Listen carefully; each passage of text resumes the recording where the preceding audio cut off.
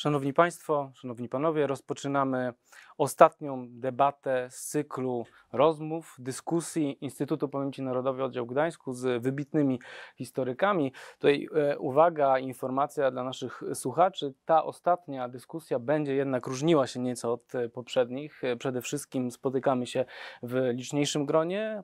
Po drugie, przez to mamy trochę więcej czasu. I po trzecie, najważniejsze, nie będziemy dzisiaj dyskutować o wybranym fragmencie dziejów e, z historii Polski czy historii powszechnej, a będziemy rozmawiali o rzeczy, tak mi się wydaje, czy o zagadnieniu mm, fundamentalnym dla mm, pracy historyka, bada, badacza historii, e, mianowicie o warsztacie. O warsztacie historyka będziemy odpowiadali na pytanie, kim jest historyk, jakie są jego zadania, jaka jest jego rola.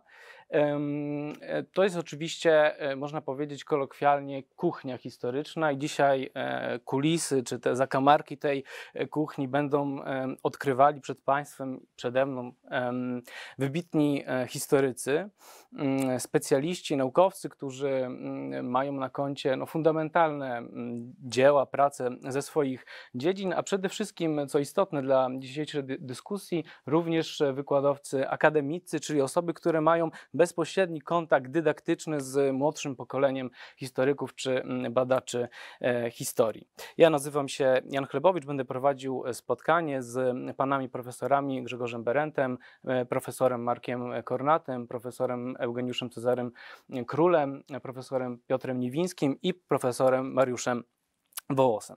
Szanowni panowie, spotykamy się 19 maja 2021 roku. Nieprzypadkowo wymieniam całą datę.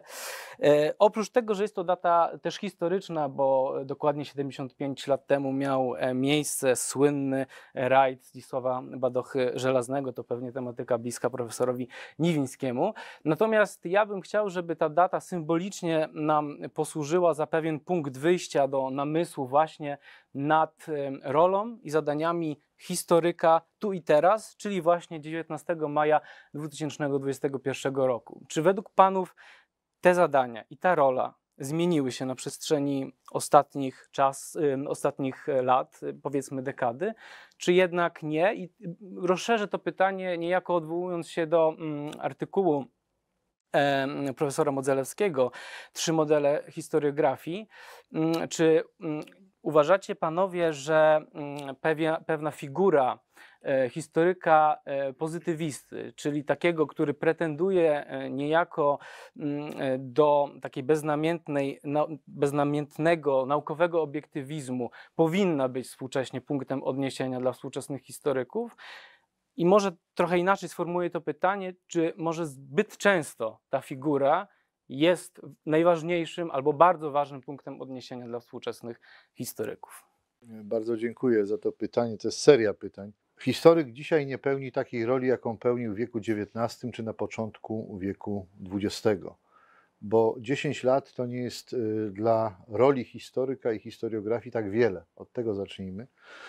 Y, nikt z nas nie będzie odgrywał takiej roli, jaką odgrywał Szymon Askenazy. Lat temu wiele wstecz, który, którego czytała cała polska inteligencja. To było zupełnie inne pisanie, ale on też kształtował i postawy patriotyczne, i, i, i przekazywał wiedzę, e, i pewne nawet powiedziałbym modele zachowań, e, które odcisnęły e, swoje piętno chociażby na tym pokoleniu, które walczyło o niepodległość w czasie I wojny światowej, bez wątpienia. Nie, rola historyka jest bardzo skromna. To znaczy, y, nikt nas, o ile dobrze pamiętam, bo nie słyszałem, y, nie zwolnił z tego, ażeby współczesnym tłumaczyć zawiłości przeszłości. To jest nasza rola. Wyjaśniać, być przewodnikiem, pokazywać, dlaczego było tak, a nie inaczej, nawet niekoniecznie mm, formułując stanowcze sądy.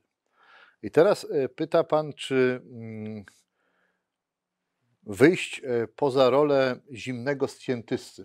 Tak. Mhm. Bo to o to chodzi. Czyli taki wie es eigentlich gewesen, jak to zadał e, pytanie pewien prawda, wybitny skądinąd historyk niemiecki, jak to e, właściwie było i to jest ten, ta wykładnia pozytywizmu, nie do końca zresztą precyzyjna, to w nas bardzo głęboko tkwi. Dlatego że paradoksem polskiej historiografii, a wszyscy jak tutaj e, siedzimy, reprezentujemy historiografię polską, jest to, że ona wyrosła z tych właśnie niemieckich wzorców pozytywizmu, e, ponieważ przenieśli je na grunt polski profesorowie uniwersytetów galicyjskich, którzy potem poszli w Polskę w okresie międzywojennym i tak dalej, i tak dalej. I gdybyśmy poszukali naszych dziadków i pradziadków naukowych, to znajdziemy ich w tej grupie. E, natomiast największy paradoks polega na tym, że w okresie e, nieudanej transformacji marksizmu do Polski pozytywizm się jeszcze umocnił. On się dobrze trzyma. E, co prawda, wchodzą te nurty postmodernistyczne i tak dalej, i tak dalej, które patrzą troszeczkę inaczej, ale powiem szczerze, że ja mam osobiście, tu się pewnie różnimy z moimi kolegami, bardzo takie konserwatywne podejście do tej roli, właśnie tego, który ma wyjaśniać. Natomiast jeżeli chodzi o pisanie, e, to tego, który się jednak pewnych wartości pozytywistycznych trzyma. E, powtarzam to studentom do znudzenia. Historyk kończy się tam, gdzie się kończą źródła. Poza źródła możemy wyjść tezą albo hipotezą. Tezą o pół kroku, hipotezą o krok ale jeżeli wychodzimy o dwa kroki, albo o trzy, albo o piętnaście, to już jest propaganda. To przestajemy być historykami. I tak bym to sformułował. Ale, ale jest jedna kwestia bardzo ważna. Nie zwolniono nas z funkcji publicznej i społecznej. I to się wiąże właśnie z tym wyjaśnianiem zawiłości dziejów. E, nie jest chyba dobrym wzorcem, chociaż takie wzorce są, historyk zamknięty w wieży z kości słoniowej, który nie wychodzi, nie uczestniczy w życiu publicznym, nie pisze artykułów popularno-naukowych, bo trzeba to robić. Jeżeli my tego nie zrobimy, to znajdą się tacy, którzy zrobią to, wydaje im się, że lepiej od nas, a faktycznie zrobią to właśnie wychodząc te 15 kroków e, po, e, ponad źródła czy, czy obok źródeł. E, I tak bym to ujął w największym skrócie. Każdy z tych wątków można w nieskończoność rozwijać. Dziękuję właśnie za to, że skrótowo. Panowie profesorowie, y, czy jakaś, jakiś głos polemiczny, bo dopytam, czy oprócz wyjaśniania jest miejsce na przykład na osąd, na ocenę? Ja bym chciał zwrócić uwagę na schizofrenię naszego zawodu. Szlachetną, jeśli jest dobrze e, realizowana. Mianowicie jesteśmy historykami do wewnątrz, do siebie i pilnujemy warsztatu, trzymamy się reguł i wykonujemy naszą pracę zgodnie z wszelkimi prawidłami warsztatu historycznego. I jest ta funkcja na zewnątrz. Kiedy wychodzimy z tej wieży z kości słoniowej i staramy się udowadniać, że jesteśmy społecznie przydatni, z różnym skutkiem. I żeby nie rozwijać tej myśli, bo ją można byłoby rozwijać, rozwijać, powiem jedno. Trochę się martwię, że nasi koledzy historycy, którzy wyszli na zewnątrz i poczuli w sobie tę wolę służby społecznej, pełniąc różne role działacza społecznego, działacza politycznego, zapominają o tym, co by robili, gdyby robili dla siebie do wewnątrz. To znaczy zapominają o warsztacie historycznym. I tego jest mi bardzo w naszej rzeczywistości szkoda. Wybrali łatwiejszą drogę. Zapewne oni powiedzą, że to jest jeszcze bardziej ciernista droga, ale chyba bym się z Tobą, panie profesorze, zgodził. Pan profesor Niwiński, zdaje się, chciał coś wcześniej uzupełnić, dodać? Może nie tyle uzupełnić i dodać, co po pierwsze się zgodzić z Panami, w 100%, jak gdyby reasumując, że e, my rzeczywiście, przynajmniej w moim przypadku, ale widzę, i panu profesorów, praca pozytywistyczna jest tym elementem podstawowym, drobiazgowe, w cudzysłowie, odtwarzanie przeszłości, szczegółowe, jak najbliższe obiektywnej prawnie, jest dla nas istotne. Natomiast musimy to też przedstawić społeczeństwu, żeby te badania nie umarły. W formie suchych, ważnych, istotnych, szczegółowych książek historycznych, owszem, ale też w formie publicystycznej, starając się umiejętnie nie przekraczać tej granicy, gdzie czasami zdarza mi się czytać książki z tego nurtu takiego bardziej lekkiego, bym powiedział, gdzie autor stara się zasugerować pewne rzeczy czytelnikowi. Wszedł minister do pokoju z marsową miną, albo wszedł uśmiechnięty i od razu mamy sugestię, co za chwilę powie, w jakim tonie się do tego ustosunkuje. Myślę, że tutaj jest ta granica przekroczona. Ta umiejętność nieprzekroczenia granicy, zachowania, e, zachowania się jak najbliżej obiektywnej prawdy, a jednocześnie ciekawe jej przedstawienie, myślę, że jest najistotniejsze. Y, Do tego aspektu, bo myślę, że to miał pan profesor na myśli publicystyki historycznej. Myślę, że jeszcze przejdziemy, bo to jest. y, Akurat w tym wypadku książka naukowa, ale fakt. Okej. Em, Myślę, że do tego jeszcze przejdziemy. Mm, Zanim jeszcze oddam głos e, panom profesorom, może trochę poszerzę to pytanie, bo widzę, że na razie panowie raczej się zgadzacie, więc e, może ja w takim razie przejmę rolę e, adwokata diabła i powiem, że być może w polskiej histori- historiografii współczesnej zbyt dużo jest pewnego rodzaju zachowawczości i jednak patrzenia na tą figurę historyka pozytywisty. I tutaj na przykład odwołam się do dwóch postulatów badawczych do, dość zbieżnych. Pierwszy mm, em, profesor Zaręba w Wielkiej Trwodze sformułował, czyli postulat poszerzania tego warsztatu mm, historyka o jednak e, inne dziedziny nauki, czyli pewien rodzaj in- interdyscyplinarności. Chodzi o socjologię, o psychologię społeczną, o antropologię historyczną i podobny postulat badawczy, w moim przekonaniu znacznie jednak poszerzony, sformułował niedawno profesor Mazur w antykomunistycznego mm, em, podziemia portrecie zbiorowym, gdzie również ten postulat jest niejako powtórzony. I ch- chciałbym, i tylko że poszerzony w moim przekonaniu, chciałem zapytać, no właśnie, mm, czy, czy ten warsztat historyka współcześnie nie jest może trochę zbyt zachowawczy? Czy może warto zaryzykować i jednak e, do tego warsztatu zaprosić inne dziedziny nauki, oczywiście z innym językiem badawczym, oczywiście z inną metodologią, ale może jest to, warto to ryzyko naukowo i badawczo podjąć, a może jednak nie, może jednak ten warsztat historyczny powinien być e, e, pozbawiony tego eklektyzmu. Tak trochę poszerzając pierwsze pytanie. Jeżeli ktoś dysponuje takim warsztatem, to z pewnością powinien sięgać do tych dodatkowych e, umiejętności. Nie ukrywam, że gdy jeden z moich naukowych wychowanków połączył warsztat historyka i pięcioletnie studia magisterskie socjologii, to dało to inny i dobry efekt niż e, taki ścisły historyk zajmujący się podobnym zagadnieniem w innym okresie.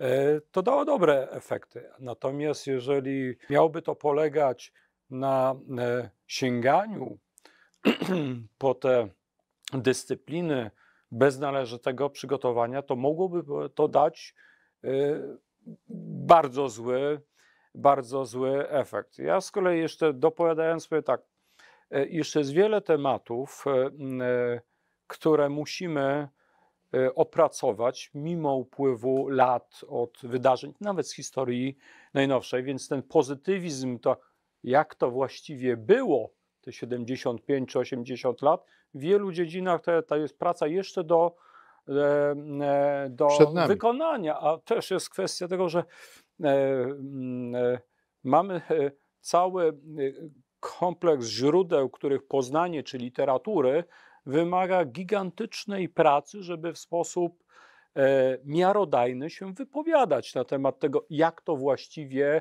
było, czy to w formie naukowej, czy to w formie popularyzatorskiej. Raz przedstawiając wiedzę ze źródeł, drugie ustalenia nasze i kolegów, e, kolegów z przeszłości. E, nie ukrywam, że w sposób taki systematyczny, no, kilka tygodni temu zapoznawałem się z zawartością pierwszego zbioru e, dokumentów wytworzonych w efekcie pierwszego procesu norymberskiego. Duża część rzeczy, Pierwszego, czyli głównego, tak? głównego, tak, tego z 40, przede wszystkim z 46 e, roku, no, jestem pod wrażeniem tego, jak wiele ważnych, kluczowych dokumentów pokazano światu już w latach 47-49. No, oczywiście zapoznanie się z tymi 40 tomami to jest duża, duża praca. Ten pozytywizm jest niezbędny. Szukać trzeba nowych dyscyplin. E, Natomiast nie- niepokoi mnie w tych, e, w tych poczynaniach, z którymi mamy do czynienia, do czynienia niekiedy sytuacja, w której e, socjolog zajmujący się przeszłością przywołuje rozmowę dwóch przypadkowych osób, na przykład na ulicy, odnotowaną w źródle, w raporcie i na tej podstawie snuje wywód o zachowaniach czy nastawieniu kilkudziesięciu czy kilkuset tysięcy mieszkańców danego miasta. To jest droga, proszę Państwa, donikąd. Jeżeli nie mamy pewności, że e, dane źródło reprezentuje opinię poważnej części danej populacji badanej, to taki cytat nie ma większego znaczenia poza potwierdzeniem, że takie osoby, takie, a nie inne osoby się No, ale zdarzają. pewnie ten badacz myśli, że on fachowo ekstrapoluje. Tak, on użyje takiego określenia. Natomiast no, jeżeli y, mamy y, przeprowadzone uczciwie, w warunkach uczciwości badania opinii publicznej, czy wyniki wyborów bez fałszerstw, no to daje nam to pewne wyobrażenie o wyborach i o nastawieniu e, społeczeństwa, ale nie rozmowa e, dwóch osób odnotowana przez informatora e, policji czy kogoś innego. A niestety e, tu jest pułapka tych kolegów, którzy z innych dyscyplin, którzy biorą się za przeszłość i właśnie próbują nam tą przeszłość wykreować w oparciu o, w moim przekonaniu, niewystarczającą bazę źródłową. Więc zdecydowanie ku pozytywizmowi się skłaniam. Mm, Ja myślę, że Pan miał na myśli też na przykład budowę interdyscyplinarnych zespołów do badań. E, Wbrew e, naszym rządzącym, którzy jeszcze bardziej najeżone do siebie nauki najeżyli, e, dzieląc je na dyscypliny i tak dalej, ale z drugiej strony, trzymając się tego pozytywizmu, podam dwa przykłady bardzo, bardzo dobre. E, Czy możemy e, badać zbrodnię katyńską e, przy takim dostępie dokumentów, jaki mamy? Bo być może jakieś dokumenty jeszcze nieznane kiedyś zostaną nam udostępnione. Czy możemy ją badać bez archeologii zbrodni? Nie możemy, bo to archeologia zbrodni zrobi kolejne kroki metodami archeologicznymi. Więc tutaj trzeba współpracować. I by daleko nie szukać, jesteśmy w Gdańsku. E, Profesor Roman Wapiński, postać tu przecież znana, zmarły już nieżyjący, e, był mm, przykładem świetnego wykorzystania na przykład literatury pięknej, poezji, sięgania też do prac z zakresu historii literatury. To już jest inna dyscyplina, pokrewna, ale tutaj e, pewne rzeczy przydatne mogą być wykorzystywane. I w tym kontekście oczywiście rezygnować z tego my historycy nie chcemy. Inna sprawa, że wielu z nas wychowanych jako indywidualiści, no mówmy to szczerze, no mówmy, tak nas po prostu ustawili nasi mistrzowie też, tak nas kreowano na seminariach, y, czujemy do tego y, jakąś taką nawet nie niechęć, ale, ale może obawę przed przełamaniem pewnej bariery. Także trzymając się pozytywizmu, wcale nie odrzucamy tego, tylko to jest nie takie proste i nie takie łatwe. Rzadko kiedy na przykład udają się konferencje o charakterze interdyscyplinarnym. Czasami się udają, ale nie zawsze. I to samo przekłada się na, na badania i podejmowanie pewnych tematów, aczkolwiek są takie tematy, gdzie zastosowanie warsztatów z innych dyscyplin jest wręcz wskazane.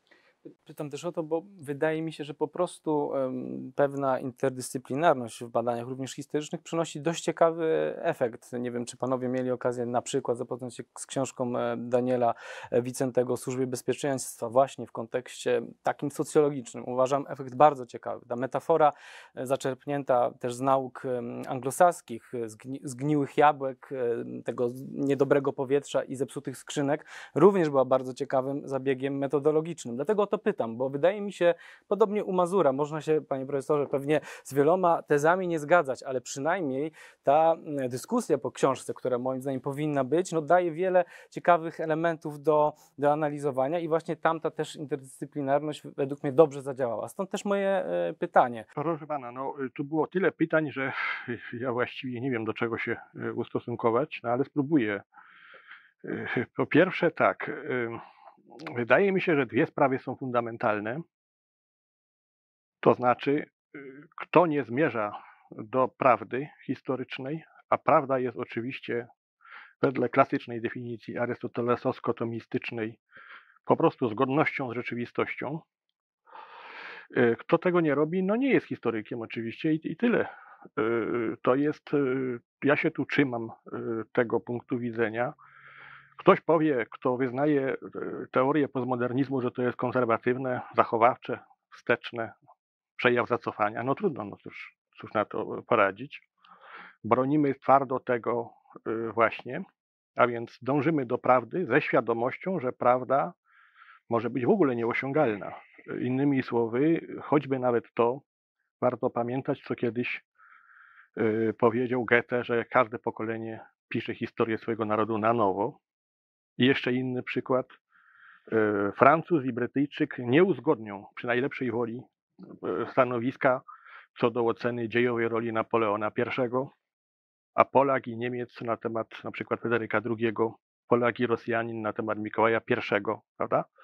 Więc y, prawda może być nieosiągalna, ale musimy do niej za wszelką cenę dążyć wszystkimi dostępnymi środkami. To jest jedna sprawa, tak, tak to widzę. Druga sprawa, tu się w pełni zgadzam z tym, co mówił profesor Wołos, a mianowicie nikt nas nie zwolnił ze społecznej roli tłumaczy przeszłości. Mamy tłumacz i przeszłość, y, ale zmieniają się realia.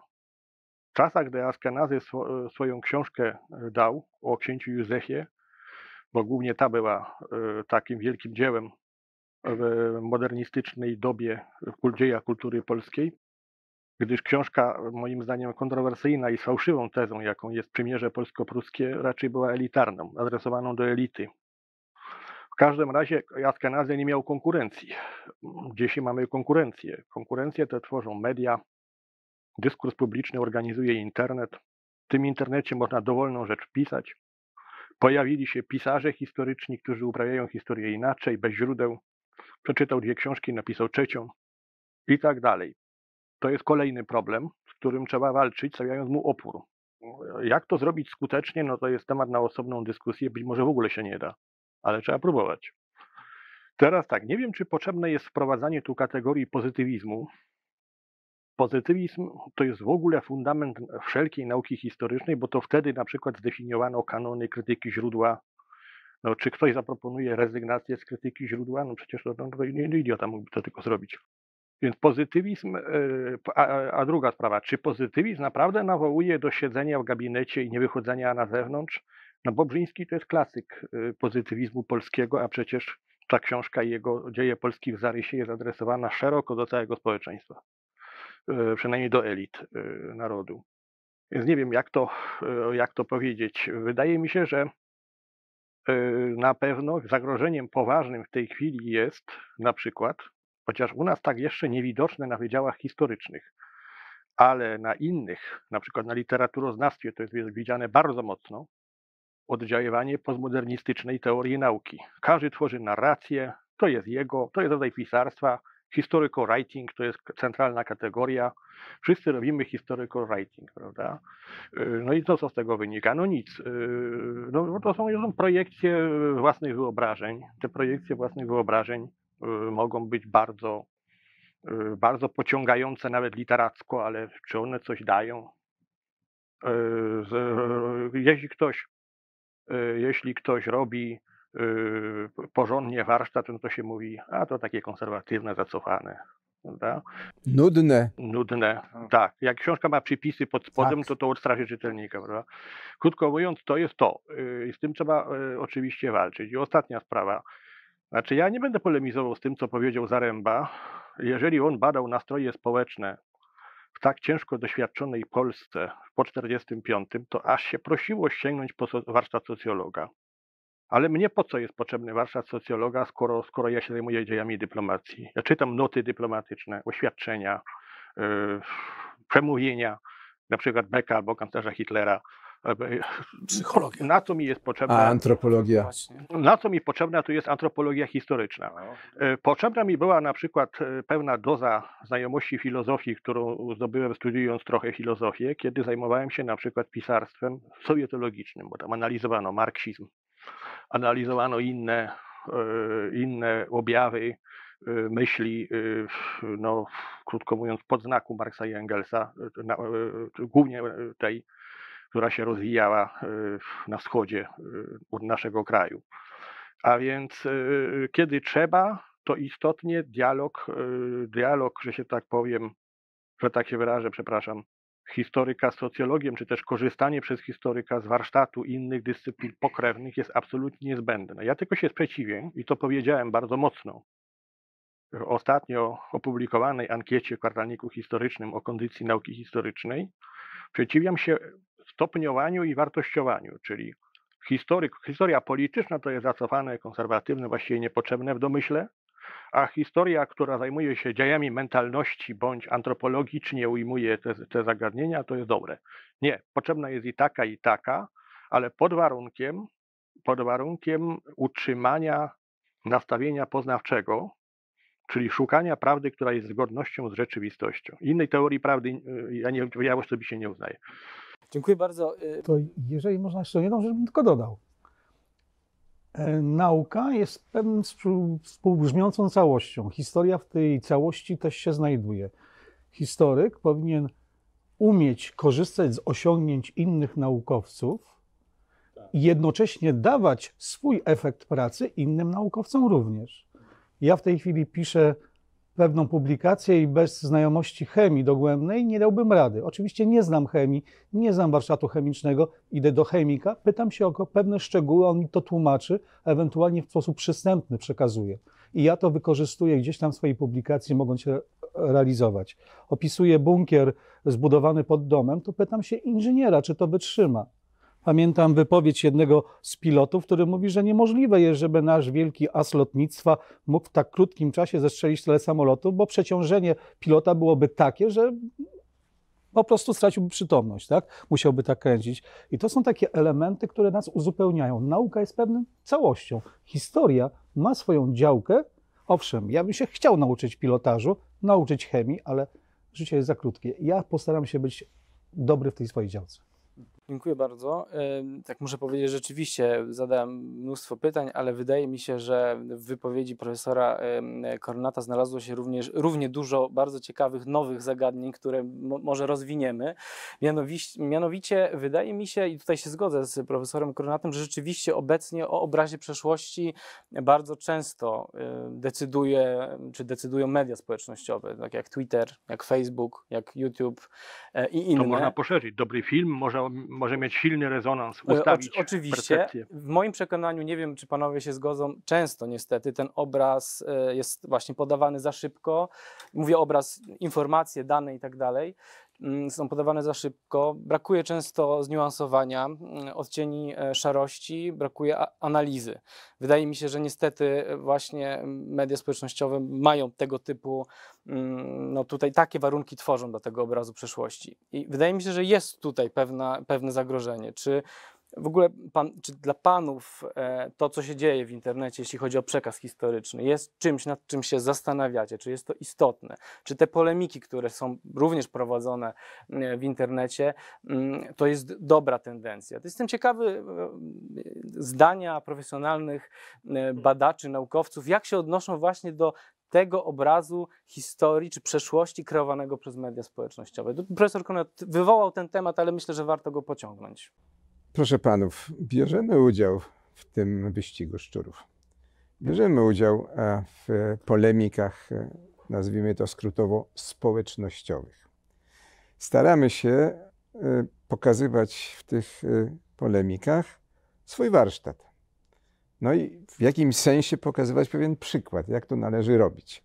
Ten przykład oczywiście jest różnie postrzegany, bo cechą charakterystyczną tego, co się dzieje w postrzeganiu historii w- źródłach czy też e, w mediach spo- społecznościowych jest inflacja. Ustawiczna inflacja, ustawiczny napływ nowych informacji, często ze sobą niepowiązanych, bezładnych. Tworzy się pewnego rodzaju magma. Ale wydaje mi się, że to jest tak trochę jak z produkcją filmów. Ja trochę się filmem zajmuję, więc e, od razu mi się kojarzy e, przez analogię ta sytuacja. Filmów powstaje mnóstwo, ale do historii i do świadomości społecznej w sensie trwałym przechodzi pewien procent tych filmów jako najbardziej wartościowe. I w tym sensie sobie wyobrażam, że powinniśmy działać w mediach społecznościowych, żeby za przeproszeniem, mówiąc trochę patetycznie, świecić przykładem warsztatu. Bo wydaje mi się, że tego rodzaju elementy e, w tych e, źródłach społecznościowych przetrwają. Tak jak te najlepsze filmy w masie produkcji filmowej. Jedno i drugie jest niezbędne. Możemy powiedzieć, możemy się zrzymać, że ci, co e, uprawiają te, e, te e, pogaduszki społecznościowe, często się mylą, nie mają warsztatu, mówią bzdury, często operują inwektywą, wulgaryzmem i tak dalej. Ale to, że się zrzymamy, to nie zmienia postaci rzeczy. Myśmy powinni tam wejść po to, żeby pokazać, jak to się robi, jak to się powinno robić. Czyli panie profesorze, rozumiem, że zawodowy historyk, naukowiec nie powinien oddawać pola w mediach społecznościowych. Taka jest pańska... Nie e, powinien się uchylać od swoich zadań. Tu bym miał taką krót, krótką uwagę, y, to znaczy ja się zgadzam oczywiście z tym, co mówił mój przedmówca, y, tylko nie wiem jak do końca to rozumieć. Otóż chodzi o to, y, jeżeli cywilizacja, jak to się mówi, no, no idzie naprzód, no, ja nie jestem wyznawcą postępu w oświeceniowym rozumieniu, to na pewno nie, ale, ale no, no, no jednak no, to, że kiedyś y, żniwa były robione przy pomocy kosy, a dzisiaj kombajnów, no jest, jest faktem, nie? Tak samo tu mamy tak zwane media społecznościowe i ja nie oceniam ani pozytywnie, ani negatywnie, że ludzie z nich używają, y, że ludzie tego używają. Chodzi mi tylko o dwie sprawy. No ciężko by było mnie na przykład wyobrazić sobie w roli uczestnika tych właśnie debat, bo ja bym nie napisał książki, nie poszedł do archiwum, ja, ja bym musiał te, te pogadanki y, dzień i noc y, kontynuować. To mi się wydaje bezproduktywne. Ale zabrać głos na określony temat? Od czasu do czasu No. tak, to tu się zgadzam. I to w sposób warsztatowo bezbłędny? Tak, oczywiście, że, że tak, ale tu, tu, tu mam zastrzeżenie i druga sprawa. No, osobiście mam silnie negatywne podejście do tych spośród nas, którzy, nie tu siedzących, że jest na tylko środowisku historyków akademickich, którzy sięgają po ten rodzaj środka przekazu, tak, do y, na przykład recenzowania książki innego. Y, To jest, no, to jest, to jest skandaliczne, uważam. To znaczy. y, to Mówisz znaczy, o blogach na przykład, tak? no, no tak, tego rodzaju wpisach, blogi. y, wpisach no, no to uważam za nonsens, y, dlatego że ten drugi jest wtedy zmuszony do odpowiadania na to. On by musiał również przechodzić na tą formę, na tą formę życia. Tymczasem nie ma on w ogóle albo ochoty, albo potrzeby. Tu, tu mam poważne wątpliwości, natomiast nie oceniam ani pozytywnie, ani negatywnie tego, że ludzie, ludzie z tego korzystają. To jest dobrodziejstwo cywilizacji, każdy z tego korzysta. historiografia twitterowa, ja to tak nazywam, opatentowałem, uwagę, jest zjawiskiem, które występuje i występować będzie. I teraz obraz idealny jest taki. My, e, historycy scjentyści, karmieni pozytywizmem, badający źródła, tworzymy swoje dzieła, a tam, w tej historiografii twitterowej, jest to przekazywane w sposób y, Uproszczony. inny, uproszczony, ale zgodny ze stanem y, naukowych badań. Y, To jest oczywiście ideał, którego nie osiągniemy. I teraz co z tym zrobić? Oczywiście, że czasami trzeba zająć y, stanowisko, to tak. Tylko y, tutaj miejmy świadomość dwóch kwestii. Generacje postępujące po nas, pan do niej należy, to są generacje obrazu. Obraz dociera głównie do młodzieży. Nie słowo pisane czy słowo mówione, to jest generacja obrazu. A jeżeli już słowo mówione, to w krótkiej formie. Krótkiej formie. To są krótkie, dosadne czasami wpisy. Y, I teraz y, przy tej y, całej y, skomplikowanej materii, jaką jest badanie historyczne, czasami y, krótki wpis, nawet dosadny, nie wystarcza. Tu mamy problem.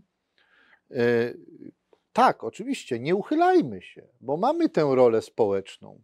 E, Tylko e, proszę mieć świadomość, że jeżeli ktoś chce się trzymać owego warsztatu, to czasami wydaje mi się, że jest w ogóle niemożliwością, ażeby w krótkim twitterowym zapisie czy facebookowym przedstawić to, co się przedstawić chce w sposób właściwy. I teraz ci, którzy na tym żerują, no przepraszam, ja to tak określam, oni wygrywają, bo jest grupa też ludzi z cenzusem naukowym, którzy się świetnie w tym czują, kapitalnie się w tym czują, pływają jak e, okręty podwodne i nawodne, jedne i drugie razem wzięte. E, e, No tylko jest pytanie, czy e, często wiedzieni aprioryzmem, bo to tam widzę, z góry założona teza, ten był idiotą, ten był wybitny, ten jest geniuszem, ten był taki, łatki i to wtedy trafia. Y, Jak z tym walczyć? Mamy my, historycy zawodowi, owiscjentyści. To nie jest takie proste, może się kiedyś tego nauczymy, ale tutaj y, no, nie do końca chyba jesteśmy do tego przygotowani. I teraz z drugiej strony, e, toczyłem taką dyskusję z profesorem Andrzejem Chwalbą, którego bardzo cenię, który mnie przekonywał, że e, tak zwana historia kontrfaktyczna może być wykonywana przez akademików. Mimo wszystko. I nawet mówił tak, że o wiele bezpieczniej jest, jeżeli ten typ e, historiografii, powszechny dosyć i trafiający do młodzieży. Pan wie o kim ja mówię. Między innymi. Domyślam się. No właśnie. Jeżeli to robi w laboratorium naukowym profesjonalista, historyk, natomiast niebezpieczne jest, jeżeli to robi publicysta czy ktoś, kto po prostu szuka taniej sensacji. Ale ja się chyba nie do końca z profesorem Chwalbą zgadzam w tej kwestii. Natomiast powtarzam, to jest historyk z cenzusem, przecież wybitna postać, a też ma takie podejście. No on się zajmował antropologią historyczną. I kończąc jeszcze dwie kwestie, trochę inne, może nawet do tej pierwszej części. Ja się podpisuję pod słowami Henryka Wereszyckiego, bo to chyba on powiedział. Historyk ma dość problemów z interpretacją przeszłości, żeby się zajmować historią alternatywną. Można się z tym zgodzić, albo nie, ale ja się z tym zgadzam.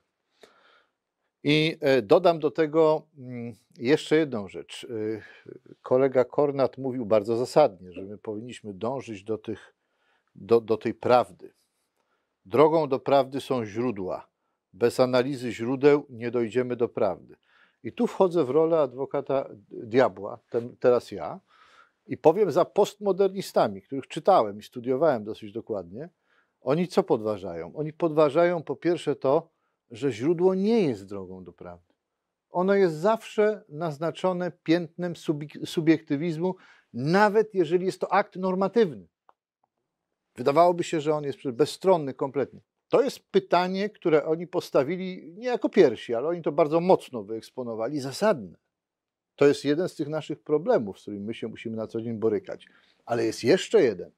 Czy historyk ma odpowiedni instrument, i tu ukłon w kierunku pana profesora Króla, który jest przecież e, tłumaczem źródeł historycznych, żeby to, co sam wyczyta i myśli, przełożyć na zrozumiały język.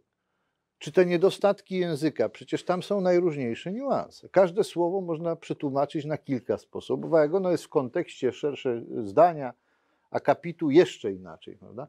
My się z tym borykamy, a pan nam się jeszcze każe e, borykać z historiografią twitterową. No pewnie będziemy to robić, ale proszę mieć świadomość, że na naszych barkach już wiele ciąży. Zadałem to pytanie po pierwsze dlatego, że profesor Kornat niejako wywołał temat, a po drugie wydaje mi się, i to chyba też profesor Król powiedział, że no to będzie temat, który będzie kontynuowany i, od, i tego chyba nie da się e, uniknąć i wydaje mi się, że chyba podczas tej dyskusji jakiegoś takiego e, złotego środka na udział e, naukowców, badaczy historii właśnie w tej przestrzeni internetu nie uda nam się dzisiaj wypracować, ale być, być może. Chciałem wprawdzie dopowiedzieć do tego, co powiedział pan profesor Wołos. On znalazł bardzo dobrą metodę e, historiografii twitterowej, a właściwie internetowej. E, Prowadzi dyskursy z kolegami na różne tematy. Ma w ten sposób e, historiografię obrazkową i historiografię naukową, scjentystyczną i metodologicznie poprawną. Ja proponuję, żeby tego rodzaju kierunek był uprawiany w naszych, naszych gremiach. Tego rodzaju e, e, obecność internetowa, która stanowi pewnego rodzaju wzorzec dla tych wszystkich innych, moim zdaniem, pośredniejszej rangi e, doświadczeń internetowych. A przy okazji jest ta obrazkowość, o której profesor Wołos mówi i ma rację. No rzeczywiście jesteśmy przytłoczeni obrazkami. Ich jest coraz więcej. One są coraz bardziej kolorowe i moim zdaniem coraz bardziej odbiegają od rzeczywistości faktycznej.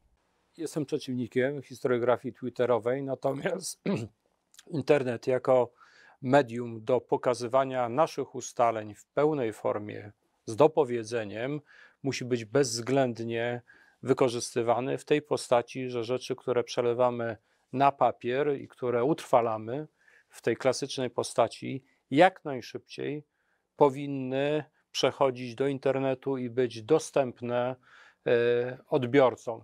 E, Książka opublikowana w nakładzie, czy periodyk naukowy e, ukazujący się w nakładzie 200-300 e, egzemplarzy to jest gorset, który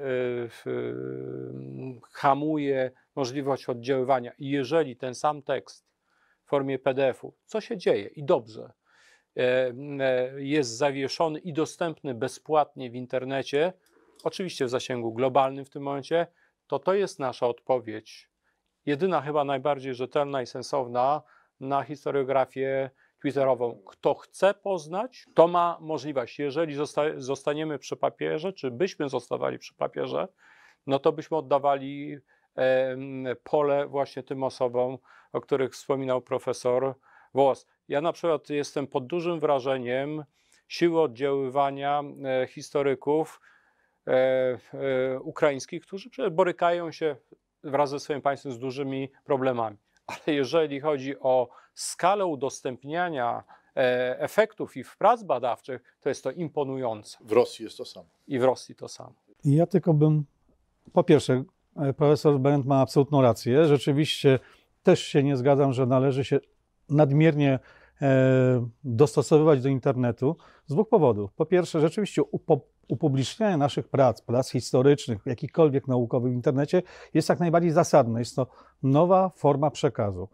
Ale pytanie, czy takie panele dyskusyjne, takie formy e, dyskusji między nami będą odbierane przez ludzi, do których chcemy dotrzeć. Śmiem wątpić. Należałoby to uatrakcyjnić. Nie wiem, powinniśmy być półnadzych na tym e, spotkaniu, żeby ludzie weszli i zaczęli nas oglądać, prawda? Zaczynamy? Wtedy może dyskusja nabrałaby jakiegoś szerszego politycy spotkania. już to robią. Tak. i ja bym jednak e, aż tak bardzo w ten internet nie, nie wchodził. Niech będą od tego specjaliści, którzy może będą starali się popularyzować tę wiedzę, którą my badamy. Cóż, no ja już nie będę się odnosił do zagadnienia internetu, bo y, właściwie powiedzieliśmy chyba wszystko, co, co było do powiedzenia. Chciałem trzy uwagi teraz wygłosić. Zacząć od, y, o ile dobrze zrozumiałem, od tego, co mówił profesor Berendt. Otóż być może jest tak, chociaż nie wiem, y, ale jestem przekonany co do istnienia takiego zjawiska. Są takie fazy w dziejach y, społeczeństw ludzkich, narodów może powiedzmy, kiedy jest ożywienie koniunktury na historię, zapotrzebowania na historię, a potem to spada. Wszyscy moi starsi koledzy, którzy studiowali, na, no głównie w Krakowie, na Uniwersytecie tamtejszym, krakowskim, jagiellońskim, e, a przypadły ich studia na czasy, kiedy pewien generał robił stan wojenny, a wcześniej był ten fenomenalny zryw, e, który się w tym mieście zaczął, w którym jesteśmy. Wszyscy opowiadali o nieprawdopodobnej koniunkturze na historię. Może Ukraińcy coś podobnego przeżywają, nie wiem. W Niemczech weimarskich była na przykład koniunktura na historię, na, opo- na potrzebę opowiedzenia o wielkości Niemiec, które utraciły tę wielkość. Wtedy właśnie pisze, jakby nie było, no, Żyd niemiecki, silnie zgermanizowany Kantorowicz y, o Fryderyku II Sycylijskim, książkę, która ponoć leżała na biurku kanclerza Hitlera później. Niesamowite, prawda? Więc Może to jest, może to jest tak. Druga sprawa, o której chciałem powiedzieć. Ja nie do końca rozumiem, o co pełni chodzi tutaj, e, chodziło profesorowi Chwalbie, bo ja mam wrażenie, że rzeczywiście on robi coś w rodzaju refleksji nad alternatywnymi możliwościami rozwoju e, historycznego i on to robi kompetentnie i z, roz, z rozumem. Natomiast jak to, co on robi, podciągniemy pod hasło historia alternatywna, którą uprawiają, no nie będę wymieniał tu nazwisk, ale są tacy, to to się zaciemnia obraz. Czyli uważam, że pewna doza zastanawiania się y, nad y, możliwością alternatywnego biegu wypadków jest konieczna. Y, No musimy się nad tym na przykład zastanawiać, choćby, nie wiem, no pisząc książkę biograficzną o ministrze Beku, nie możemy się nie zastanawiać nad tym, co by było, gdyby Polska wyraziła zgodę na y, Pakt Wschodni. No pełnego dnia Sowieci by zażądali prawa do przemarszu Armii Czerwonej. No, tak to wygląda. I chyba tak wolno powiedzieć. Natomiast gorszej, gorszą rzeczą, rzeczą zwodniczą, bardzo niedobrą, to jest budowanie jak- jakichś alternatywnych scenariuszy dotyczących przeszłości w postaci jakby równań z wieloma niewiadomymi. to nie, no nie będę wymieniał tu nazwisk, bo niektóre osoby nie żyją y, już, y, ale to, to niestety, niestety bywało tak w naszej historiografii też. A więc y, jakieś ćwiczenie umysłowe polegające na zastanowieniu się nad możliwością, czy zastanawianiu się nad możliwością zaistnienia alternatywy dla tego kursu wypadków, który my znamy ze źródeł, jest chyba konieczne y, historykowi. I jeszcze jedno, ostatnia rzecz. Gdzieś tu pan zapytał, y, bardzo to było pytanie potrzebne, o, o kwestię osądu. Tak, tak, to na początku.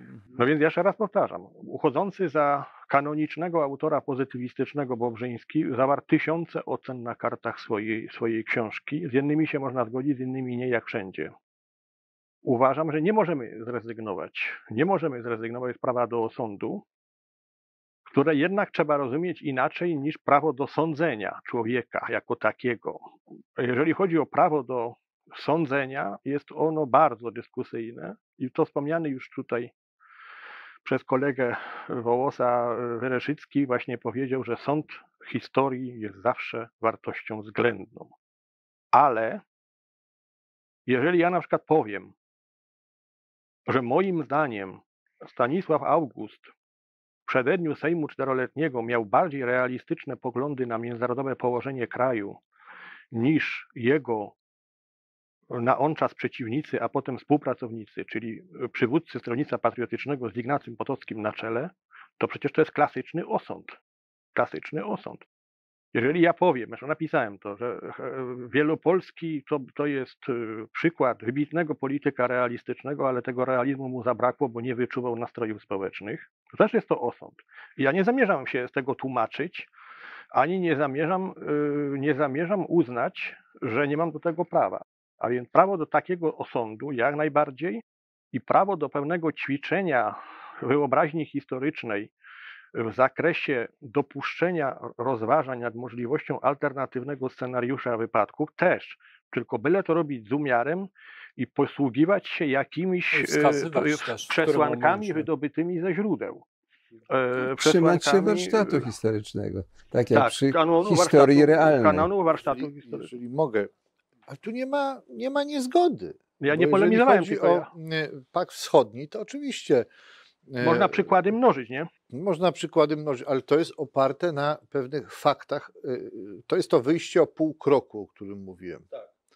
To jest dopuszczalne, ale nie sformułowałbym już takiej tezy, że gdybyśmy w czasie powstania Chmielnickiego Rzeczpospolita nadała kozakom prawa szlacheckie To by nie upadło. i Rzeczpospolita by wtedy nie upadła, no to przepraszam, to to już idzie trochę za daleko.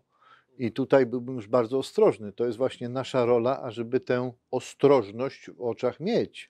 E, I Tak. to jest bardzo trudne. To, to łatwo się wyrywa spod kontroli. Tak. I nie ma granicy. Ona jest bardzo płynna, bo nie można jej zakreślić. Mówię o pewnym procesie myślenia, co jest jeszcze, powiedzmy, bazuje na faktach i można sobie pozwolić na jakąś tam alternatywność do pewnego stopnia, nie za daleko, a co już wychodzi poza to. To jest kolejny ciężar na naszych ramionach. Tak, a to- jest bardzo ciekawy wątek już tutaj przez panów wywołany, czyli pewnego rewizjonizmu historycznego, historii alternatywnej, ale muszą panowie chyba, tak mi się wydaje, przyznać jedną rzecz, że Znaczy, e, publicyści... rewizjonizm, a tak zwana e, To jest, to jest, umiarkowana. to jest jeszcze co innego. To jako dwa zagadnienia powiedzmy oddzielne, ale oddzielne, ale wydaje mi się, że jednak w pewnych aspektach zbliżone. Chodzi mi o to, że publicyści historyczni, nie wiem czy panowie się zgodzą, ale myślę, że tak, mają pewną zdolność, umiejętność jednak wzbudzania często nawet ogólnopolskiej dyskusji na temat danego e, zagadnienia historycznego. Często, nie mówię o wszystkich wypadkach, ale badacze profesjonalni czy, czy naukowcy e, nie potrafią e, takiej dyskusji ogólnopolskiej wzbudzić, chociaż oczywiście są i takie przypadki. I teraz moje pytanie brzmi znowu, tak mi się wydaje, żeby troszkę, troszkę naszą dyskusję zróżnicować i zniuansować. Może za Olgą Tokarczuk, która historykiem nie jest, powiem tak, że może polska historia potrzebuje właśnie herezji, może potrzebuje e, poprzestawiania akcentów, może mm, potrzebuje prowokacyjnych perspektyw, mocnych tez, po to właśnie, żeby wzbudzić ten ferment in- intelektualny, po to, żebyśmy właśnie dyskutowali, żeby Polacy byli bardziej zainteresowani historią, nawet jeśli to jest jednak obarczone pewnymi uproszczeniami, czy, czy, czy jednak, no tu już pewnie później przejdziemy, czy pewnym myśleniem ahistorycznym, czy prezentystycznym, ale może to jest potrzebne, jak panowie e, sądzą. Panie Janie, mm, uważam, że e, e, no, skandalista przyciąga uwagę, czy skandaliści przyciągają uwagę, natomiast e, to nie może być tak, żeby dla przyciągnięcia uwagi do danego zagadnienia sięgać e, po e, te same metody, e, jeżeli one odbiegają od warsztatu, o czym już mówiliśmy, nie za wszelką cenę. Znaczy, gdzieś musi być powiedziane przez ludzi działających zgodnie z warsztatem non possumus. A tematów jest tak wiele istotnych, nieporuszonych, niezbadanych klasycznymi metodami, że można wywołać e, dyskusję. My na przestrzeni ostatnich lat raz po raz przecież takich tematów bardzo trudnych, społecznie ważnych e, dotykamy i można e, o tym mówić bez skandalu, bez przerysowań czy bez jakichś projekcji. I to jest nasza e, rola jako e, e, historyków. A jeżeli ktoś chce być skandalistą, e, no nie licytujmy się z nim. Bo, bo to, to nas doprowadziłoby donikąd. Ja bym powiedział tak, znaczy zgadzam się z panem y, tym, że bardzo du- duża część naszego pisarstwa historycznego rzeczywiście cierpi trochę na brak jasności, klarownego postawienia tezy czy wniosków. Nie do mnie należy ocena, czy taka wyrazistość została zachowana w książce o no ale wydaje mi się, że w miarę była. Ja się E, nie wypowiadam. No Właśnie, ja się też nie wypowiadam, ale wydaje mi się, że w miarę była. Natomiast uważam, że wszystkie środki są dozwolone, z wyjątkiem wygłupiania się. Dozwolone są wszystkie środki z wyjątkiem wygłupiania się. Y, Wygłupianie się, no rozumiem, y, no też mi ciężko tu po nazwiskach, ale zjawisko takie w ostatnich, no powiedzmy 20 latach było. Zwłaszcza dotyczące dziejów najnowszych y, było. Y, I mamy tu wtedy problem. No, y, no i mamy jeszcze jeden problem. Wulgaryzacja historii pod płaszczykiem tych przewartościowań kulturalnych, których dzisiaj jesteśmy świadkami. O co mi chodzi? Proszę Państwa, no, jak kupiłem gazetę wyborczą, jakoś to było przed świętami, i tam jakiś facet zaczyna gadkę, że no tak, no cóż, no tak to się złożyło. Mieszko pierwszy y, no gwałcił, zabijał, ale zbudowało państwo i o nim musimy uczyć y, dzieci. No więc ja sobie pomyślałem, że no tu aż się ciśnie na usta potrzeba sięgnięcia do pewnych wzorów e, pojęciowych, których przykład dał nam Jarosław Kaczyński, mówiąc o lumpenliberalizmie, ale to jest lumpenhistoriografia. To co, to, co my tu mamy, to już jest lumpenhistoriografia. No my idziemy w kierunku tego, co było, e, co nasi starsi koledzy opowiadali. No, w latach 50. na studiach historycznych były pytania, ponoć pytania były u pewnej pani profesor w Krakowie na seminarium i na egzaminie, czy Kostka Napierski był postępowy. No postępowy, no bo ja ukradł e, magnatowi coś, no to uszczuplił posiadłość tego magnata, prawda? No i żebyśmy nie poszli w tym kierunku, bo to, no to, to, to jest naprawdę dramat. Ja podam inny przykład, y, który mną wstrząsnął. Nie wiem, czy on pasuje do tego wzorca. Podczas konferencji naukowej w Jekaterynburgu, bardzo poważnym uniwersytecie, najpoważniejszym uniwersytecie na Uralu, y, federalnym, y, jeden z prelegentów w obecności polskich historyków powiedział, że w Katyniu to y, niższą kadrę i średnią wymordowali Niemcy, a wyższą Sowieci. Zadaliśmy mu Forma pytanie, kompromisu, tak? Poznawczego. tak, zadaliśmy mu pytanie, na jakiej podstawie ten wniosek wysnuł. Na podstawie źródeł internetowych. Uwaga, to był historyk z cenzusem, z doktoratem. Chciałem zapytać, czy to na poważnie pan opowiada? Ja odpowiadam to całkowicie na poważnie i mam na to świadków. poważnie. Mam na to świadków. Oczywiście w dyskusji e, próbowaliśmy tego pana przekonać, że jest e, w błędzie. Niby się to udało, po czym ukazała się publikacja i te, przepraszam, brednie były tam dalej wpisane. Więc y, to nie jest to, o czym mówi kolega Kornat, to nie jest takie znowu oderwane od rzeczywistości. Zdarzają się takie rzeczy. Czyli może tak, że e, ci, którzy studiowali historię, ci, którzy uczyli się tego warsztatu, którzy przez lata ten warsztat tworzyli, jak gdyby m, też recenzowani przez koleżanki i kolegów, no, są historykami, ale dzisiaj właściwie każdy może zostać historykiem, jak poczyta trochę stron internetowych. Pozbiera sobie trochę informacji, ma bloga, który jest bardzo poczytny, bo on tak naprawdę jest jednym z najwybitniejszych, najbardziej poczytnych, ile on ma wejść. Ja podam pozytywny przykład. Są książki poczytne, czy Piotra Langefelda, czy chociażby Jacka Komudy, Hubal czy Westerplatte, które może niekoniecznie są historyczne, to są powieści, wykupywane w dziesiątkach tysięcy egzemplarzy, czytane, popularyzujące historię. Jak zrobić, żeby tego typu książki pisała Olga Tokarczuk? Nie wiem, ale może rzeczywiście to jest pytanie. Ja nazwałbym takich właśnie y, publicystów, historyków, y, harcownikami historii na obszarze rzeczywistości y, internetowej. Ich jest bardzo wielu, zwłaszcza na obszarze historii najnowszej, y, którzy specjalizują się w y, prezentowaniu prowokacyjnych tez, które potem na różny sposób uzasadniają. Czynią to często bardzo atrakcyjnie, odwołując się do języka anegdotycznego, do różnego rodzaju y, przypisów y, Wybiórczo do źródeł. wybiórczo, wybi- wybiórczo do źródeł, nie akcentując y, y, właściwej y, kolejności zdań w tych źródłach. I co, jaka jest nasza rola, którzy staramy się wysoko nieść ten sztandar e, poprawności warsztatowej? Ja myślę, że y, trzeba po prostu reagować, wchodzić w, w interakcję z tymi ludźmi, zapraszać się. Ja to staram się też robić na dyskusje, inicjować pewnego rodzaju y, wspólne y, y, debaty, y, bo mm, przeciętny history, przeciętny y, czytelnik czy słuchacz jest jednak krytyczny. Jeśli zobaczy pewną różnicę w, w szanowaniu warsztatu, jeśli zobaczy, że y, y, przedstawiciel y, tej szlachetnej odmiany historii umie posługiwać się i językiem polskim, i warsztatem, i zapędza w kozi róg e, takiego e, harcownika, to myślę, że jego sympatia będzie właśnie po stronie tych właśnie szlachetnych e, przedstawicieli historii.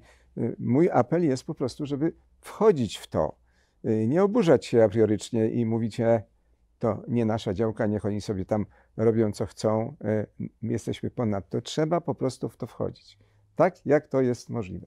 Widziałem, że profesor Niwiński y, na słowo wchodzić w to lekko się tutaj jednak e, zawahał, czy może Ja się absolutnie się zgadzam z profesorem e, Królem, że należy e, na to reagować, ale odpowiem jakoś, bo moje doświadczenie, nawet nie osobiste, tylko jak patrzę czasami po internecie, jak moi szacowni koledzy wchodzą w interakcję z tak zwanymi prześmiewcami albo tymi harsownikami z internetu, którzy podają kompletnie wymyślone z głowy czasami fakty, ale strasznie przyciągające widza, to ja już widzę tą, nie widzę ich rzeczywistości, ale jak się domyślam tą rzeszę ludzi przy internecie, którzy z przyjemnością takiego uchachanego, e, śmiejącego się e, człowieka bardziej zrozumieją, będą mieli do niego sympatię niż profesora, który e, stonowanie podaje fakty, jak one były, który jest nudny i widać, że nie ma racji. No, należy Boję się, nie że to będzie nie ten- nienudnym, no, nie ta płaszczyzna. Radzić, no. Czy mamy się zamykać w swoich kręgach dyskusyjnych? Tu ma pan Nie. po- profesor absolutnie rację. Chociaż ten na to- krok jest tak. bardzo miły, moim zdaniem, Jeszcze i mi ważny. przychodzi myśl do głowy, jeśli pozwolą panowie. Mianowicie bardzo byłbym y, ostrożny, aby usprawiedliwiać pewne zachowania historyka akademickiego, rzecz jasna, który przypisuje sobie prawo do pewnych przejaskrawień, twierdząc, że on trochę inaczej to widzi, trochę inaczej myśli, ale to robi po to, by przyciągnąć uwagę. Zgoda. Tu się kłania przykład Grossa. Otóż ważne też są wywiady z nim, które były publikowane. On się tak tłumaczył, że nawet jak trochę przejaskrawił, to dla dobra sprawy trzeba to odkryć, wyrąbać y, mocno, a potem się stonuje. Otóż nie. Twierdzenie, że sąsiedzi jedwabieńscy zamordowali sąsiadów jest twierdzeniem skrajnym i nieprawdziwym. Innymi słowy, zmierzam do tego, że jeżeli to prawo byśmy przypisali historykom i sobie je przyjęli na zasadzie konsensus omnium, rób tak, bo to dobre dla ciebie, no to aż się prosi dojść do sytuacji, że dojdziemy do sytuacji, że propagacja kłamstwa, propagowanie kłamstwa będzie po prostu usprawiedliwione. E, Więc ja się, tym, ja się temu sprzeciwiam. Pełna zgoda, Marku, e, ale też warto zauważyć, że wokół e, kontrowersyjnych wypowiedzi Jana Grossa pojawiła się spora rzeczywistość e, Podobnie przejaskrawiających. No nie, zgadzam się z tobą. Tak. przejaskrawiających, wyjaśniających i racjonalizujących. Powstała cała biblioteka, bo Ja biblioteka się wobec zgadzam, tego tak. Jedwabnego, więc y, y, sam Gross tutaj y, pogody nie, Nie, uczynił. ja się tylko posłużyłem e, Grossem, nie zamierzam szerzej tego dyskutować, jako takim przykładem do zilustrowania pewnej tendencji, która ja równie dobrze mogę posłużyć się innym. Jeżeli ja bym jutro napisał broszurę czy, czy artykuł, że moim zdaniem e, Józef e, zawinił e, wszystko, co mógł zawinić, bo stał się grabarzem Polski, no to też bym przyciągnął czytelników, tylko wyszedłbym na głupca. No dobrze, po ale powstałby wtedy tekst profesora Wołosa, który by zracjonalizował to, co masz do powiedzenia. Mało tego, powołując się na Marka Kornata. Tak. Wi- tak, tak mi się wydaje, że w tym punkcie naszej dyskusji jednak e, pewne różnice zdań się tutaj e, ujawniły. No Może i nie, chwała nie Bogu. chwała Bogu, może nie mocne, ale, ale jednak co mnie, co mnie również e, cieszy. Ch- chciałem zapytać jeszcze o jedną rzecz, chyba nie nazwaną, ale już wywołaną, bo moja obserwacja jest taka, że coraz częściej, tak też w kontekście tego mieszka, ale coraz częściej, czy to w takiej literaturze historycznej, czy popularno-naukowej, rzadko w naukowej, m, pojawiają się rozmaite ahistoryzmy, myślenie prezentystyczne, czyli takie, że pewne osądy, e, pewne analizy, pewne m, mocne tezy są stawiane jednak ze współczesnej perspektywy w oderwaniu od warunków tego rozwoju historycznego. E, Mnie to osobiście bardzo często mm, dziwi, ale z drugiej strony sobie tak myślę, i to też e, wyczytałem u profesor Domańskiej takie ciekawe zdanie w mikrohistoriach, że może trzeba spojrzeć na prezentyzm trochę inaczej, jako pewne wołanie e, do mm, aktywnego udziału badacza w tworzeniu rzeczywistości i współodpowiedzialności za nią. To znaczy być może takie myślenie prezentystyczne właśnie ma dążyć do tego, żeby stawiać oceny, żeby dyskutować. Nie, pewnie nie aż tak daleko e, szedł profesor Król, ale jednak może, może jest w tym jakiś e, sens, głębszy sens, właśnie chociażby w postaci, nie wiem, odpowiedzi, replik, e, publikacji, polemik, jak panowie się właśnie do tych kwestii Ale jeżeli odnoszą. można krótko, to y, w zasadzie my do, o tym mówimy. Jeżeli źródła nie wypełniają, czy nie dają odpowiedzi na te pytania, to stawiamy pytania, formułując hipotezę, e, ale wyraźnie to zaznaczając. Tak? I żeby to w narracji historyka było zaznaczone, co wiemy na pewno, e, co jest istotne, a czego nie wiemy, i teraz wypełniamy tę, e, wypełniamy tę lukę. Ja taką drobną rzecz popełniłem teraz. E, 70 kilka lat po wydarzeniach z okresu II wojny światowej na zachodnim Polesiu, e, nadal więcej e, pytań niż odpowiedzi, mimo że e, to miejsce, które opisałem, pochłonęło minimum 25 tysięcy ofiar, według starej historiografii rosyjskojęzycznej nawet 50 tysięcy ofiar. I przy takim przerażającym bilansie my nadal więcej możemy przypuszczać, kto zorganizował e, tą zbrodnię tam, niż mamy to twardo podane, dlatego że sprawcy skutecznie e, niszczyli dokumenty w 1944-1945 e, roku. Więc ja myślę, że tutaj nie ma jakiejś sprzeczności e, między tym, co my mówimy, a o, co pan pyta. Natomiast no, nie może być no, takiego prezentyzmu na zasadzie wymyślania rzeczy zupełnie oderwanych od przesłanek na podst- m- sensownych, na podstawie których jakąś hipotezę formułujemy. No, tak, zgadzam się, ale czy pan profesor mm, nie dostrzega jednak, że często takie myślenie prezentystyczne, a historyczne pojawia się w przestrzeni Czy publicznej? mógłby Pan Bardzo- jakiś przykład podać, bo wtedy nam to ułatwi. Na przykład e, e, wyciągnięcie e, wniosku e, takiego, że na, przykład prymas Glemp w drugiej połowie lat 80. zupełnie e, mylił się co do, m, e, co do przyszłej ważnej roli so- Solidarności, świadczy o tym, że prymas Glemp nie miał rozeznania takiego politycznego czy społeczno-politycznego, jest właśnie rodzajem, moim zdaniem, prezentyzmu, dlatego że my wiemy już, co powiedział w 1987 roku Jan Paweł II i wiemy, że postawił na Solidarność. Natomiast prymas Glemp, e, tworząc wokół siebie różn- chociażby mm, e, różnego rodzaju kluby dyskusyjne, czy takie e, podmioty, które mogłyby wziąć później udział w mm, transformacji, czy w dyskusjach z komunistami, mogłyby odegrać bardzo ważną rolę, ale stawianie tezy na przykład takiej, że prymas Glemp nie miał rozezna- rozeznania polityczno-społecznego jest właśnie te, przykładem prezentyzmu, dlatego że my już dzisiaj wiemy, co się wydarzyło w 1987 i w kolejnych latach. Podobnie jest z oceną Okrągłego Stołu, czy, czy, czy chociażby mm, e, em, e, kolejnych miesięcy transformacji ustrojowych. Bardzo często stawiane są e, ostre tezy, e, jednak już z dzisiejszej perspektywy wiadomo, co się wydarzyło. No, podobnie jest przy Powstaniu Warszawskim, czy, czy innych. e, No, to są, to są te przykłady, o które rola? panowie pytacie. Ja podam inny przykład, bardzo mi bliski. Piłsudskiego się potępia za to, że po 26 roku stał się dyktatorem, za brześć, za złamanie kręgosłupa parlamentaryzmu. Dlaczego? Dlatego, że patrzy się z dzisiejszej perspektywy jako demokracja coś, co jest absolutnie nienaruszalne i najważniejsze. Tylko problem polega na tym, że Józef Piłsudski wcale tak nie uważał. On myślał inną kategorią. Państwo, państwowość, jeżeli demokracja sprzyja sile państwa, to ja nie mam nic przeciwko niemu. No i świat Demokracja. taki, że dyktatury szły ofensywnie, Tak, prawda? ale jeżeli ta demokracja w jego ocenie godzi w siłę państwa, to trzeba jej dać po łapach. I teraz o co chodzi? To jest to, o czym mówił kolega Kornat, cytując Goethego, że każde pokolenie pisze swoją historię. Okej, niech pisze. Tylko właśnie niech, niech, ulega, niech nie ulega prezentyzmowi. Bo on jest bardzo niebezpieczny. Jeżeli my dzisiejsze nasze wartości będziemy przekładać na czasy gwałcącego mieszka, wtedy wszyscy gwałcili. A jak wprowadzano chrześcijaństwo? Z wyjątkiem gwałconych może. O, a czasami było i. Chociaż wiele Też. źródeł na ten temat nie ma. To nie jest takie proste.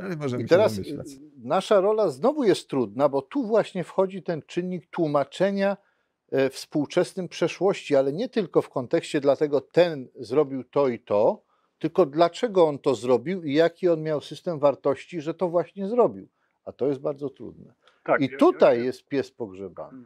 Y, Ja się z tym zgadzam i y, wydaje mi się, że y, no, przy całej złożoności sprawy tak zwany prezentyzm jako zjawisko, zjawisko zagrażające niewątpliwie, a nie pozytywne, no zdefiniować chyba trzeba jednoznacznie w ten sposób, mianowicie to jest ocena, to jest sądzenie, to jest opiniowanie o ludziach bądź zjawiskach z przeszłości, y, na podstawie dzisiejszego y, naszego świata y, wartości, pojęć, tych wszystkich rzeczy, które, które dzisiaj wiemy.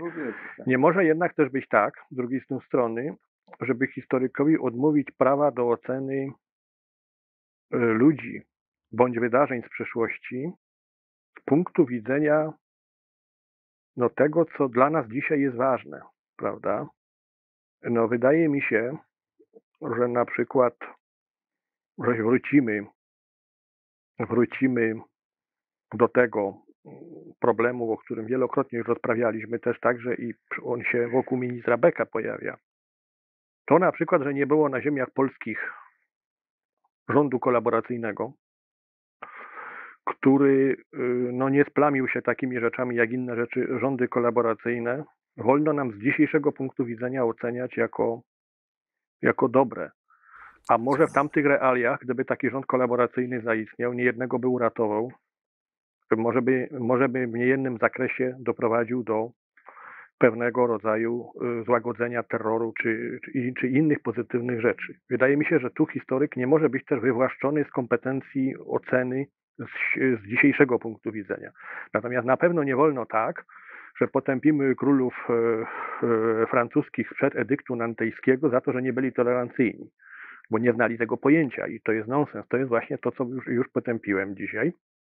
I ostatnia sprawa. Wielkim historykom, a Władysław Konopczyński takim był, przetrafiało się napisać coś, co od prezentyzmu nie bywało wolne. Mam na myśli na przykład książkę o Fryderyku II.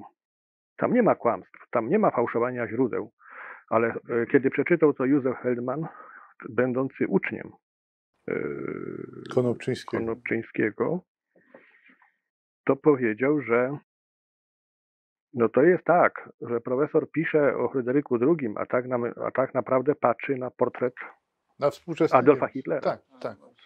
Yy, te, No on tyle był chciałem, też politycznie zaangażowany dosyć tak, mocno. tyle, tyle chciałem tu powiedzieć. Profesor Król się zdaje się. Y, Szanując dyscyplinę dyskusji i bieg czasu, zrobię tylko mały przypis do wypowiedzi profesora mm, y, y, Kornata.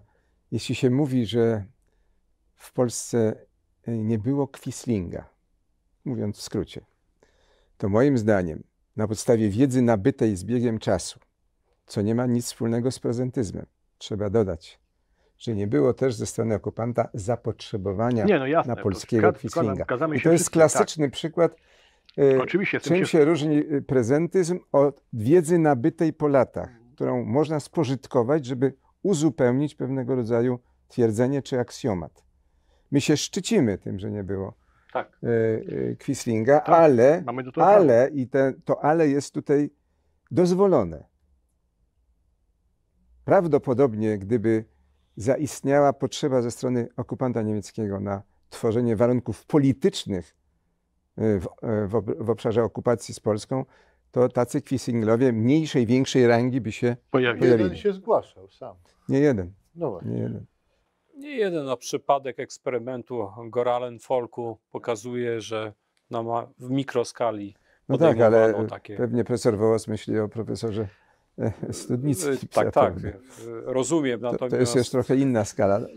No ale chcę jedno zdanie tylko jeszcze dopowiedzieć, żeby ten, z tego przypisu wynikła pewna generalniejsza uwaga. Prezentyzm to nie oznacza, że my jesteśmy pozbawieni możliwości oceny z perspektywy czasu. Bo często ta, ta, ta, ta ocena z perspektywy jest ważnym uzupełnieniem tego, co się zdarzyło i co było oceniane przed y, wieloma laty. ale to I o to bym się chciał upomnieć. ale czy to jest prezentyzm, czy stwierdzenie faktu? Bo to dzięki badaniom wiemy, że tej woli nie było.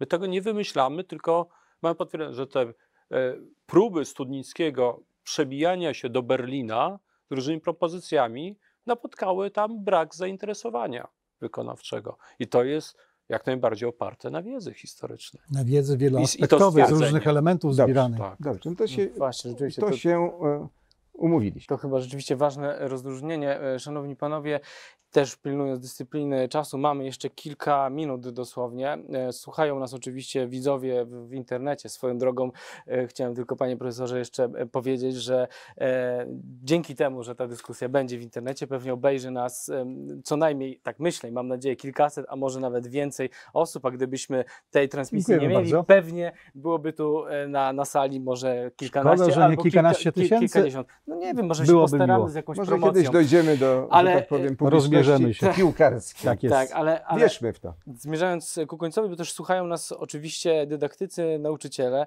Panowie mieli, mają e, również kontakt na, na uczelniach właśnie z, z przedstawicielami młodego pokolenia historyków. I chciałem zapytać na koniec, może już tak krótko, czy e, w takim nauczaniu e, na poziomie już, no nie wiem, podstawowym, średnim, oczywiście wyższym, czy to przykładanie wagi do e, właśnie warsztatu historyka, metodologii historii jest wystarczające? Czy powinno być większe? Czy Dzisiaj Czy- w Polsce, tak? tak, tak, dzisiaj w Polsce. I czy również na, mm, według panów na mm, tych niższych poziomach em, edukacji, nauczania, również ten warsztat historyczny powinien być w, w ramach lekcji historii jednak akcentowany i zaznaczany? Ja odpowiem, jeżeli można y, krótko. Nauczyciel nie ma na to w ogóle czasu. Od tego Może zacznijmy. teraz będzie miał więcej. Może podobno. teraz będzie miał będzie więcej. godzin. E, Natomiast y, my mm, na studiach dostajemy, przepraszam za to określenie, materiał y, słabiej przygotowany niż jeszcze dwa, trzy dziesięciolecia temu, kiedy tego czasu na historię e, było więcej, ale było też to, o czym panowie mówiliście, większe zapotrzebowanie na historię. Proszę mieć świadomość, że społeczeństwo polskie e, staje się coraz bardziej społeczeństwem ahistorycznym i coraz bardziej upodabnia się do społeczeństw zachodnich. E, W Stanach Zjednoczonych to jest ahistoryzm, jest w ogóle już y, czymś wyjątkowym. To jest w ogóle fenomen, że tam powstają tak wielkie dzieła historyczne w społeczeństwie ahistorycznym. E, Są ahistoryczne masy i historyczne elity. i historyczne elity. U nas to nie wygląda może jeszcze tak, ale y, trafić y, z konkretną wiedzą historyczną do y, ucznia szkoły podstawowej średniej jest coraz trudniej, a trafić do niego z wiedzą uzbrojoną jeszcze elementy warsztatowe i metodologiczne jest rzeczą niemalże niemożliwą. I teraz przychodzą ci ludzie na studia też historyczne i my musimy się napocić bardzo, 3-4 razy więcej niż kiedyś, żeby pewne podstawowe tylko kwestie, o których tutaj mówimy, e, mieć możliwość im przekazać. Także niestety ten proces postępuje, a zdalne nauczanie przy wszystkich jego e, zaletach e, proces Pogłębia. pogłębia i to szybko.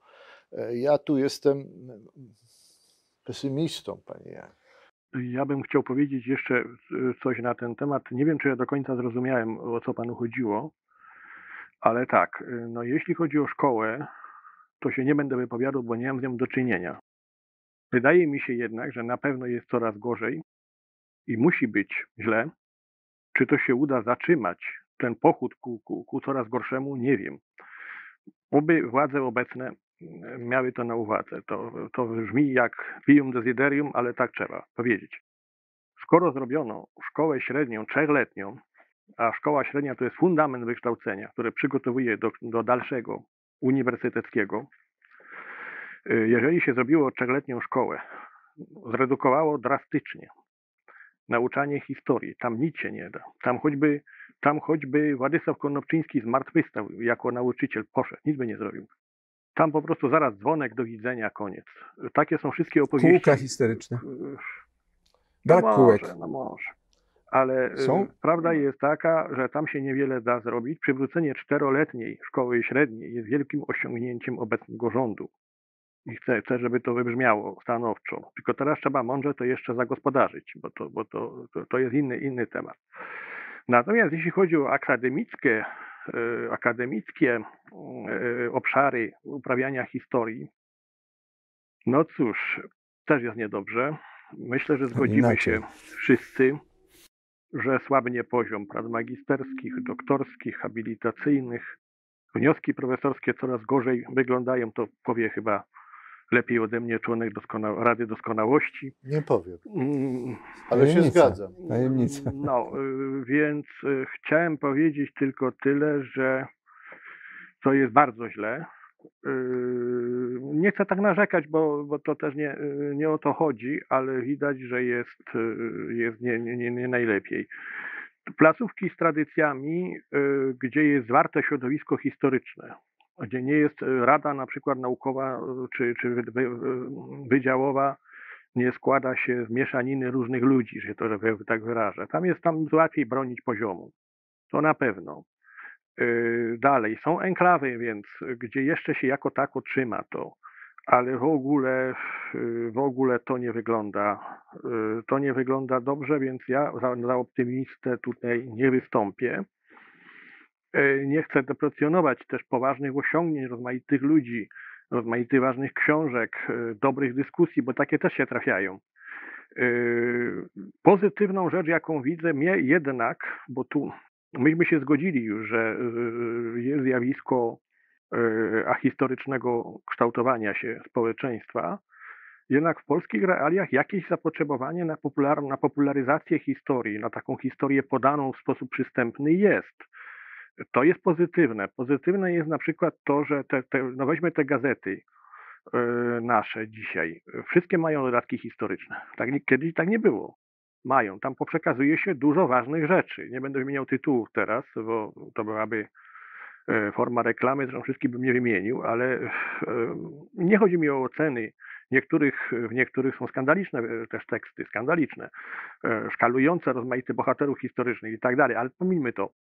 Per saldo to świadczy o pewnym pozytywnym pragnieniu e, wiedzy historycznej ze strony takich ludzi, którzy nie zdobyli e, akademickiego wykształcenia historycznego, e, ale mają poczu, e, poczucie, no, że skądś przychodzą, dokądś zmierzają, coś wiedzieć o przeszłości własnego narodu i państwa. To bym powiedział jako pozytywne. Co bym jeszcze powiedział pozytywne? Relatywnie jest lepiej jednak na polu otwarcia się na zewnątrz. Czyli gdyby zliczyć liczbę dotowanych z pieniędzy budżetowych książek historyków polskich, przekładanych w różnych programach na języki obce, to jest ona większa niż w latach 90. W latach 90. tego po prostu, to się w ogóle, w ogóle na nic nie było, prawda? Grosza nie było na nic. Dzisiaj są te programy, sam z nich korzystałem. No nie jest to źle. No i ostatnia rzecz, mamy te placówki nowe. No IPN nazwać go nowym nie sposób, ale mamy Instytut Pileckiego, mamy Muzeum Historii Polski, mamy Muzeum Powstania Warszawskiego, mamy e, no jeszcze teraz i- Instytut de Republika, który teraz obraduje beze mnie, bo już tutaj e, jestem, więc krótko mówiąc, e, to są wszystko pozytywne, e, pozytywne fakty, więc są rzeczy złe, bardzo złe. Odbudowa szkoły wydaje mi się najważniejsza. No i niedopuszczenie do dalszej degradacji uniwersytetu. Ale to jest tak szeroki temat, że go nie będę zaczynał. Mianowicie bez odbudowy szkoły i bez e, powstrzymania procesu degradacji uniwersytetu, y, ten, to, to, to pojęcie degradacji rozumiem bardzo szeroko. Rozumiem bardzo szeroko. No, y, no mówiąc krótko, jeżeli pewna uczelnia, którą tak się zdarzyło, udało mi się z pozytywnym wynikiem skończyć, rektor, senat wydaje zarządzenie, że wykładowca do ucznia może mówić na ty, no to, no, no to pytanie, gdzie jesteśmy? To są też przeobrażenia. Idzie walec, Może czy powinien? idzie Właśnie, walec, to jest ta różnica. walec rozkładu, rozkładu. No, nawet nie wiem, jak to brzmiało, nie chcę teraz przekłamać. Więc y, po prostu no, to pokazuje y, pewne problemy, które mamy. Znaczy, ja krótko e, powiem w ten sposób. E, e, Jeżeli mówimy o nauczaniu akademickim, bo za to odpowiadamy. Tak. E, Musimy robić swoje. To jest, że przytoczę cytat z, z takiego wiersza czy hymnu tutaj z okresu zaboru pruskiego. Musimy siać, choć wiatr zabiera e, ziarno. E, I to, o czym tu mówiliśmy o warsztacie historyka, musi docierać do naszych uczniów, bo właśnie zgodzę się, że często od nas oni po raz pierwszy dowiadują się o tym, że trzeba być rzetelnym, szukać prawdy, opisywać tą, e, opisywać tą prawdę. I rok po roku, z każdym rocznikiem, który przychodzi, my na nowo musimy to powtarzać, że to jest kanon. e, I ja wierzę w to głęboko, i to jest e, pozytyw, że duża część naszej młodzieży, której to przekazujemy, przyjmuje to jako pewnik. Pies jest pogrzebany, jak słusznie zauważył Marek Kornak, w szkole średniej. Szkoła średnia, jeśli idzie o przedmioty humanistyczne, powinna uczyć elementów podstawowych warsztatu myślenia logicznego. Nie nadmiaru faktów, nie uprawiania myślenia talmudycznego, ale właśnie na zasadzie przyczyna, skutek, tak, ale. Z tymi, z tymi elementami warsztatu pod, podstawowego, część z tej młodzieży pójdzie na studia humanistyczne i tam będzie ten warsztat dalej rozwijać. Natomiast reszta pójdzie do innych zawodów, ale będzie miała umiejętność myślenia logicznego, które się zawsze przydaje w życiu. Szanowni panowie, myślę, że to była bardzo dobra puenta. Jeszcze tylko z pozytywów powiem to, że myślę, że takim elementem jest fakt, że się spotkaliśmy, że porozmawialiśmy o warsztacie historyka, o metodologii. Wydaje mi się, że takich spotkań na temat właśnie tego, kim jest historyk, jakie są jego rola, zadania, nie ma zbyt wiele i to chyba należy uznać za, za pozytywny aspekt. Bardzo dziękuję za wszystkie głosy. Wiem, że to temat jest bardzo obszerny, nie udało się na pewno o wielu aspektach powiedzieć, ale bardzo dziękuję za wszystkie Panie Janie, głosy. postulowałbym kolejne spotkanie z udziałem nauczycieli i roztropnych uczniów. Oczywiście. Dziękujemy Myślę, że to bardzo ważny Dziękuję. Dziękuję bardzo.